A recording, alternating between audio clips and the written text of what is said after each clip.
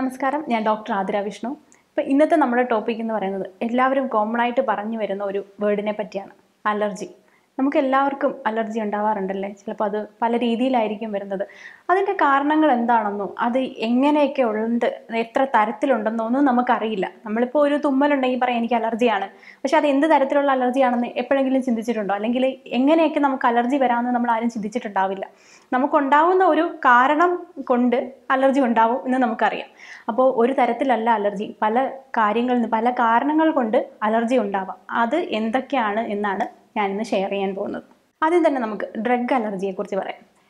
Drug allergy എന്ന് പറയുമ്പോൾ പേരിൽ തന്നെയുണ്ട്. ഞാൻ ഈ പറയുന്ന എല്ലാ അലർജിയും അതിന്റെ പേരിൽ തന്നെ നമുക്ക് മനസ്സിലാക്കാൻ പറ്റും എന്തൊക്കെ ആയിരിക്കാം അതിന്റെ കാരണങ്ങൾ കാരണങ്ങളായിട്ട് വരുന്നതെന്ന്. അപ്പോൾ ഡ്രഗ് അലർജി എന്ന് പറയുന്നത് ഏതെങ്കിലും ഒരു ഡ്രഗ് കാരണം നമുക്കുണ്ടാവുന്ന അലർജിയാണ് ഡ്രഗ് അലർജി എന്ന് പറയുന്നത്. നമുക്ക് ഇപ്പോൾ ഏതെങ്കിലും ഒരു ട്രീറ്റ്മെന്റിന് വേണ്ടിയിട്ട് പോകുമ്പോൾ ഒരു നമുക്കൊരു ഇഞ്ചക്ഷൻ എടുക്കണമെന്നുണ്ടെങ്കിൽ അല്ലെങ്കിൽ ഏതെങ്കിലും ഒരു മെഡിസിൻ നമുക്ക് കഴിക്കണം എന്നുണ്ടെങ്കിൽ ആദ്യം തന്നെ ഒന്ന് ടെസ്റ്റ് ചെയ്ത് നോക്കാറുണ്ട്.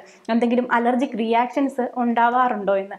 അതുതന്നെയാണ് ഡ്രഗ് അലർജി എന്ന് പറയുന്നത്. ഇതെന്ന് പറയുന്നത് ഭയങ്കര ഒരു ക്രിട്ടിക്കൽ കേസ് വരെ ആവാൻ ചാൻസ് ഉള്ള ഒരു കാര്യമാണ്. ഇപ്പോൾ ഒരു ഡ്രഗ് അലർജി ഉണ്ടാവുകയാണെന്നുണ്ടെങ്കിൽ നമുക്കൊരു നല്ലൊരു പ്രതിവിധി അതിന് കണ്ടുപിടിക്കേണ്ട ഒരു കാരണമാണ് ഈ ഡ്രഗ് അലർജി എന്ന് പറയുന്നത്. അങ്ങനെ ഈ സാധാരണ ഈ ഒരു ഡ്രഗ് അലർജി എന്ന് പറയുന്നത് മെഡിക്കൽ റിലേറ്റഡ് ആണ്. അതുകൊണ്ട് വലിയ ഇഷ്യൂ ഒന്നും ഇല്ലാതെ തന്നെ അത് മാനേജ് ചെയ്ത് പോകുന്ന ഒരു കാര്യമാണ് ഡ്രഗ് അലർജി അപ്പോൾ നമുക്ക് ഒരു നോർമൽ ലൈഫിൽ ഈ ഒരു ഡ്രഗ് അലർജി എന്ന് പറയുന്നത് അധികം കോണ്ടാക്റ്റിൽ വരില്ല. അപ്പോൾ ഇതാണ് ഒരു തരത്തിലുള്ള അലർജി എന്ന് പറയുന്നത്. അടുത്തതാണ് ഫുഡ് അലർജി ഫുഡ് അലർജി എന്ന് പറയുന്നത് നമ്മൾ എല്ലാവരും ശ്രദ്ധിച്ചിരിക്കുക എല്ലാവരും മനസ്സിലാക്കുക. ഇത് ഫുഡ് അലർജി എന്ന് പറയുന്നത് നമ്മൾ എപ്പോഴും ഫുഡ് കഴിക്കുന്നവരാണ്. പല തരത്തിലുള്ള ഫുഡ് നമ്മൾ പല സ്ഥലങ്ങളിൽ നിന്ന് വാങ്ങി കഴിക്കുന്നവരാണ്. അപ്പോൾ ഏതെങ്കിലും ഒരു വസ്തുവിനോട് അല്ലെങ്കിൽ ഏതെങ്കിലും ഒരു ഫുഡ് ഐറ്റത്തിനോട് നമുക്ക് ഉണ്ടാകുന്ന അലർജി റിയാക്ഷൻ ആണ് ഫുഡ് അലർജി എന്ന് പറയുന്നത്. ചിലപ്പോൾ ചിക്കൻ ആയിരിക്കാം. ചിലർക്ക് ഈ കടലിലെ മത്സ്യങ്ങൾ കഴിക്കുമ്പോഴായിരിക്കാം വരുന്നത്. ചിലർക്ക് കക്കയോ ഞണ്ടോ കൊഞ്ചോ അങ്ങനെയുള്ള എന്തെങ്കിലുമൊക്കെ കഴിക്കുമ്പോഴത്തേക്കും അതൊരു അലർജിക് റിയാക്ഷൻസ് ബോഡിയിൽ ഉണ്ടാക്കും ചിലർക്ക് തടിച്ച് പൊന്തുക ദേഹമൊക്കെ തടിച്ച് പൊന്തുക അല്ലെങ്കിൽ വയറിന് പ്രശ്നം ഉണ്ടാകുക ദഹന വ്യവസ്ഥയ്ക്ക് എന്തെങ്കിലും പ്രശ്നം ഉണ്ടാകുക വയറിന് വേദന ഉണ്ടാകുക വയറിളക്കം ഉണ്ടാകുക ഇതൊക്കെ അതുമായിട്ട് റിലേറ്റ് ചെയ്ത് വരുന്നതാണ് ഫുഡ് അലർജി എന്ന് പറയുന്നത്. ഇതും ഈ ഒരു പെയിനും അല്ലെങ്കിൽ ആ ഒരു ഡിസ്കംഫർട്ട് വെച്ച് നമുക്ക് മനസ്സിലാക്കാവുന്നതാണ് ഈ ഒരു ഫുഡ് കഴിച്ചാൽ എനിക്ക് ബുദ്ധിമുട്ടാണ്. തൽക്കാലത്തേക്ക് അങ്ങനെയുള്ള ഫുഡ് എന്തെങ്കിലും ഒരു അലർജിക്ക് ആണെന്നുണ്ടെങ്കിൽ അത് ഒഴിവാക്കുക എന്നുള്ളതാണ് ഇമ്പോർട്ടന്റ് ഇമ്പോർട്ടന്റ് ആയിട്ടുള്ള കാര്യം. അത് ശ്രദ്ധിക്കുക. അത് കഴിഞ്ഞ് വരുന്നതാണ് അനിമൽ അലർജി എന്ന് പറയുന്നത്. ഏതെങ്കിലും ഒരു അനിമലിന്റെ അല്ലെങ്കിൽ ഒരു അനിമലിനോടുള്ള അലർജിയാണ് നമ്മുടെ ഈ അനിമലിന്റെ സ്കിന്നിലുണ്ടാകുന്ന ചില പ്രോട്ടീൻ പ്രോട്ടീനോട് നമ്മുടെ ബോഡിക്ക് ഒരു അലർജിക് റിയാക്ഷൻ ഉണ്ടാകുന്നതാണ് അനിമൽ അലർജി എന്ന് പറയുന്നത് ചിലപ്പോൾ വീടുകളിലൊക്കെ ഈ നായ്ക്കളെയും പൂച്ചകളെയൊക്കെ വളർത്തുന്നവർക്ക് അത് ചില അലർജി ഉണ്ടാവാറുണ്ട്. അതാണ് അനിമൽ അലർജി എന്ന് പറയുന്നത്. അപ്പോൾ ഇപ്പോൾ നമ്മൾ രണ്ട് മൂന്ന് തരത്തിലുള്ള അലർജിയെക്കുറിച്ച് സംസാരിച്ചു. ഓക്കെ അപ്പോൾ ഇത് ഇതിൽ തന്നെ ഉണ്ട് അല്ലേ? പേരിൽ തന്നെ ഉണ്ട്. അടുത്തതാണ് കോണ്ടാക്ട് ഡെർമറ്റൈറ്റിസ് എന്ന് പറയുന്നത്. കോണ്ടാക്ട് ഡെർമറ്റൈറ്റിസ് ഈ പേരിൽ തന്നെ നമുക്ക് മനസ്സിലാക്കാം. എന്തെങ്കിലും ഒരു വസ്തു കോണ്ടാക്റ്റിൽ വന്നിട്ട് നമുക്ക് സ്കിന്നിൽ അതിന്റേതായിട്ടുള്ള ലക്ഷണങ്ങൾ കണ്ടുവരുന്നതാണ് കോണ്ടാക്ട് ഡെർമറ്റൈറ്റിസ് എന്ന് പറയുന്നത്.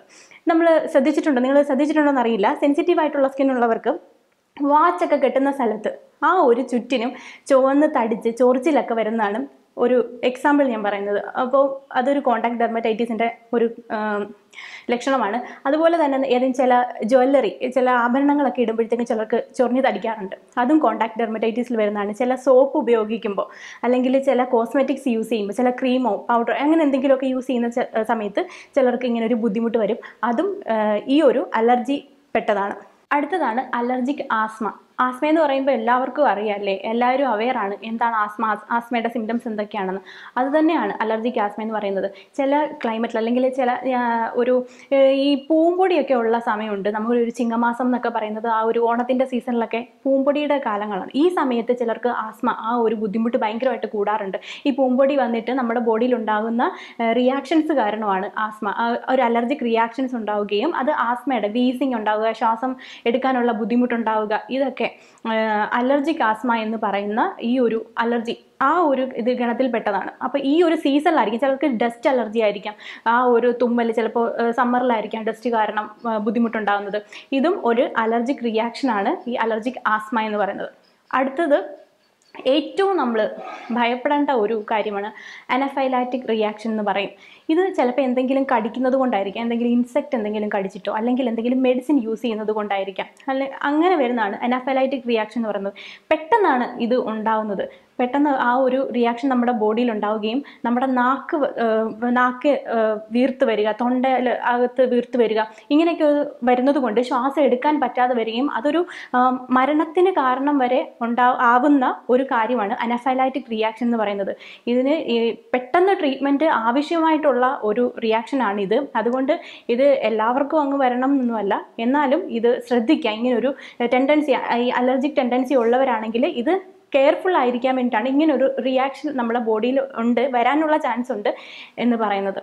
അടുത്തതാണ് സീസണൽ അലർജി എന്ന് പറയും. ഏതെങ്കിലും ഒരു സീസണിൽ വരുന്നതാണ് ഈ സീസണൽ അലർജി എന്ന് പറയുന്നത് നമുക്ക് എല്ലാവർക്കും അറിയാം. മഴക്കാലത്ത് തുമ്മൽ ഭയങ്കരമായിട്ട് വരുന്നു.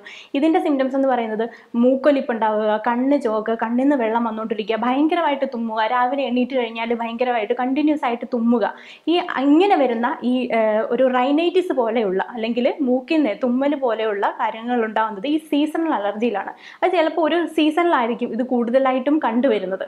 അതാണ് സീസണൽ അലർജി എന്ന് പറയുന്നത്. ഓക്കെ അപ്പോൾ ഇത്രയും ഒരു അലർജിയെക്കുറിച്ചൊക്കെ നമ്മൾ സംസാരിച്ചു. അപ്പോൾ ഇതിനകത്ത് തന്നെ ഉണ്ട് ഇതെങ്ങനെയാണ്? ഇതൊക്കെ ഇതിലേതാണ് നിങ്ങളുടെ അലർജി? നിങ്ങൾക്കുള്ള കാരണം നിങ്ങളുടെ കോസ് എന്താണ്? നിങ്ങൾ അല്ലെങ്കിൽ ഇപ്പോൾ ഉള്ളതിനെ മെയിന്റെയിൻ ചെയ്യുന്നു പോകുന്ന ആ ഒരു കാരണം എന്താണെന്ന് നിങ്ങൾ തന്നെ ഐഡന്റിഫൈ ചെയ്ത് അതിനുള്ള എന്താണോ പ്രതിവിധി? അല്ലെങ്കിൽ നിങ്ങൾ അതിനെ ഒഴിവാക്കുക. ആ ഒരു സാധനം നിങ്ങൾക്ക് എന്താണോ അലർജി ഉണ്ടാക്കുന്നത് അതിനെ ഒഴിവാക്കുക എന്നുള്ളതാണ് ഏറ്റവും ഇമ്പോർട്ടന്റ് ആയിട്ട് നിങ്ങൾ ശ്രദ്ധിക്കേണ്ട കാര്യം. അപ്പോൾ ഈ എല്ലാ അലർജിയെക്കുറിച്ചും ഒന്ന് അവെയറായിരിക്കുക നിങ്ങൾക്ക് ഉള്ളതിനെ നിങ്ങൾ ഒഴിവാക്കി മാറ്റി നിർത്തുക.